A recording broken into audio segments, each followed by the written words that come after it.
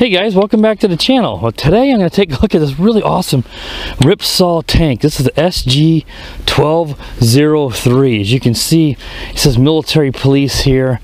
Uh, just really, really awesome looking.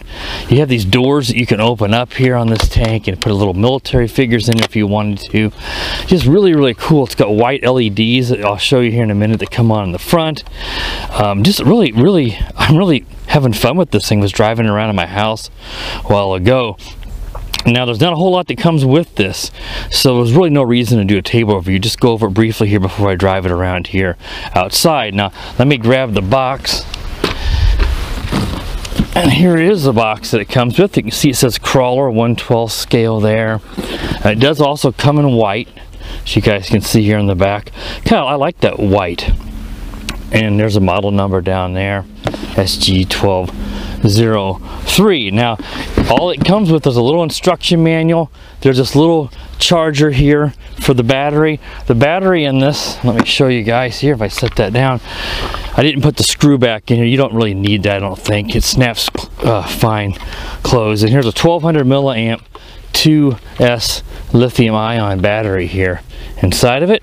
I'm glad that it comes with a lithium ion. That way you don't, you know, a lot, sometimes these uh, kind of vehicles come with a nickel cadmium pack and I prefer to actually have lithium ion and get a little more punch, probably a little better run time as well out of that. There's your on and off switch. Yeah, I mean, it's really, really fun and inexpensive too. If you're interested to purchase link to this, it's like $55 for this version. I think they have a, a version that has, you could, that comes with also a set of metal tracks.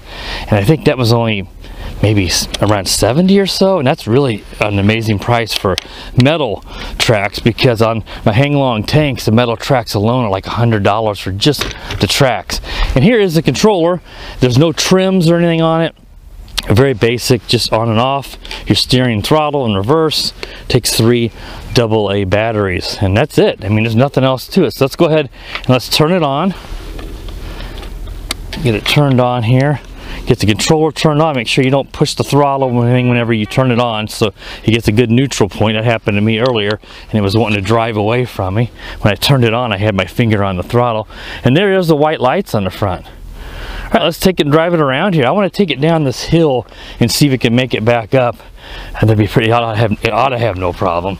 It does have a lot of uh, punch you'll see. Look it, these Ripsaws are cool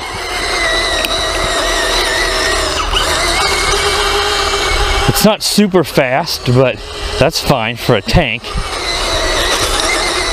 It's probably similar in speed to my Heng Long and my Sherman tank, uh, Tiger 1 tanks that I have.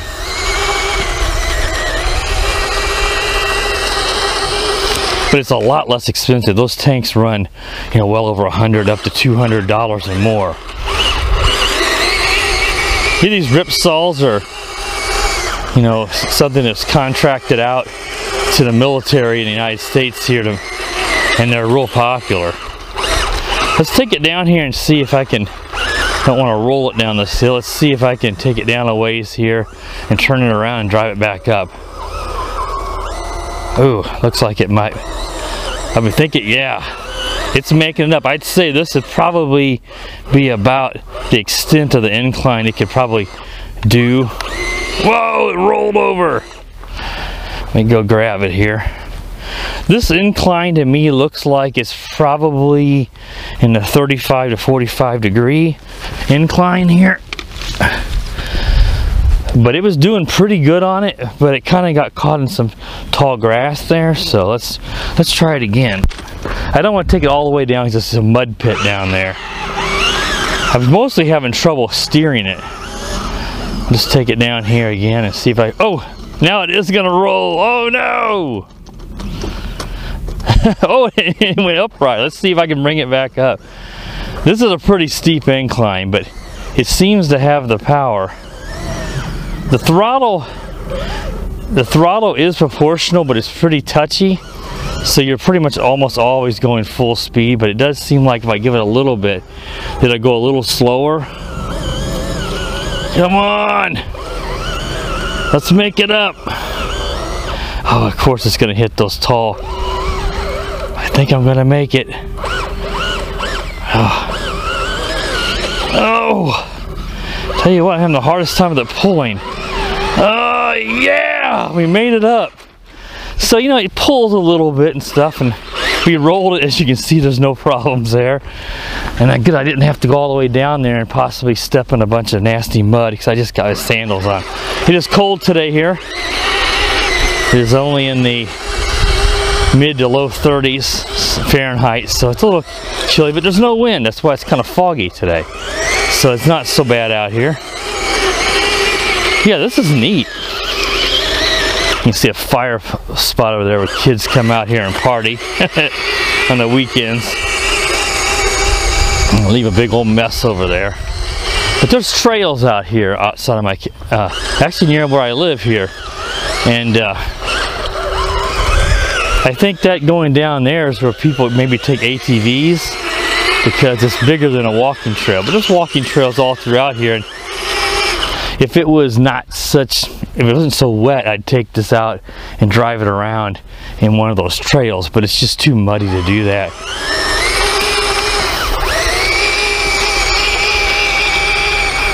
But yeah, I mean, to me, that's a that's a fine speed for a tank. I mean, you don't want a tank to go too quick. It's a little bit noisy with those belts, you know, the tracks it's to be.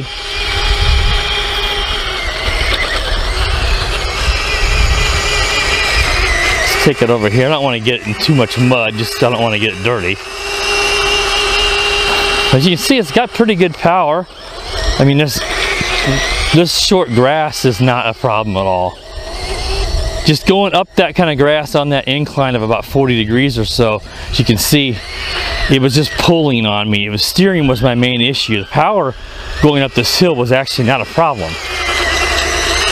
But it's such a steep incline that you can see if it, the way it kind of, it, the way it rocks itself when you gun it, actually ended up getting high and ended up rolling down the hill but no no harm and that's what you want to see. I mean the thing would break for something like that then obviously wouldn't have very good durability and wouldn't be worth it.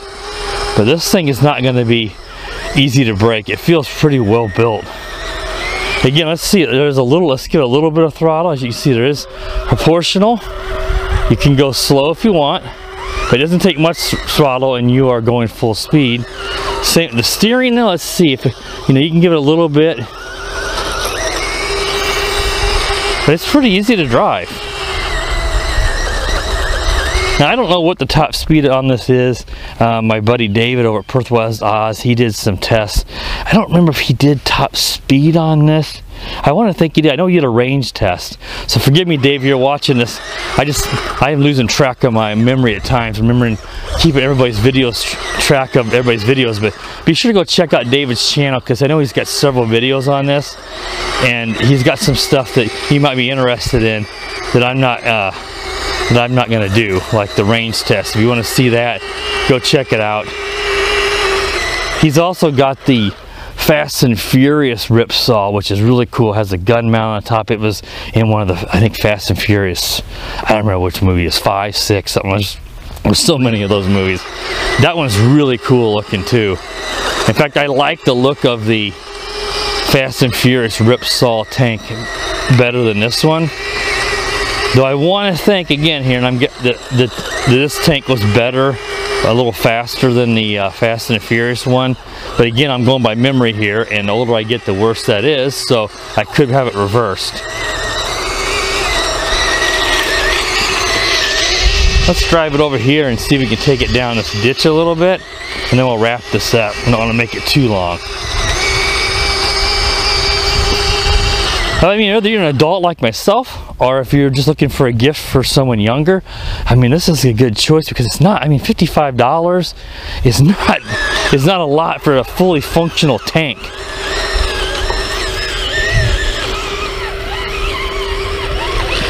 I got stuck a little bit, but yeah, I mean, the power's great. Look at that. Again, just just steering. It's obviously it's obviously. Uh, switching between which tracks are moving to steer, like any tank would. And it can pull a little bit on you. Let's see if we can drive it around here and through the through the uh, ditch and back up to me. Some ice over here on top of the water. That'd be cool to drive across if that were completely solid, but it's not. I don't want this to go in the water because I, it's not gonna have trouble with a little puddle or something, but I wouldn't submerge this thing. You probably, you probably end up ruining it. Whoa! Oh, is it gonna roll? Oh yeah, it did. It rolled up on its side, so I gotta be careful here. This is mostly just soggy, so that we don't end up. That's the only problem that I'm seeing with this guy is he is how easy it is to do that. It's a bit top heavy. I don't know if the real Ripsaw his probably was not that prone to rolling over, but it does tend to, I do tend to get it rolled over here. And this, yeah, see there, it did it again. But it lots of times ends up back on its, on its tracks. There. So only, that's the only real fault I'm seeing with this is it does tend to roll over quite easily. But like I said, probably, you know, more times than not, it ended up on its tracks.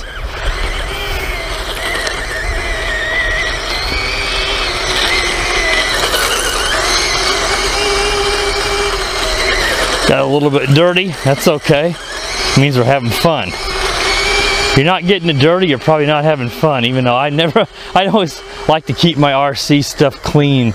I like the look of clean but that also means I'm probably not having a lot of fun unless I take the time to clean it up. The runtime on this, I don't know um, what you're going to get for certain. I mean, I think 20 to 25 minutes is probably realistic. It could be closer to 15. Um, I don't, they may, I think they, Banggood's probably got a runtime on there, but those lots of times are exaggerated. But uh, you should get a pretty good run time with a 1200 milliamp. It's you know it's just brush motors in there. Shouldn't uh, shouldn't drain it too quick. All right, guys. I think that's enough driving around to see this uh, SG 1203 military police uh, Ripsaw tank. Of course, you can also get it in white. If you're interested, again, just check the description. If you want to support the channel, just use that link to, to purchase it if you're interested, and that'll help support me, and it won't cost you, a, a you know, a cent more. All right, guys, that wraps it up. Be sure to uh, subscribe to the channel if you like what you see. Click the bell so you know when I do upload new videos. Be sure to like the, you know, the video. And as always, guys, have a wonderful day. The power of the dark side, side, side.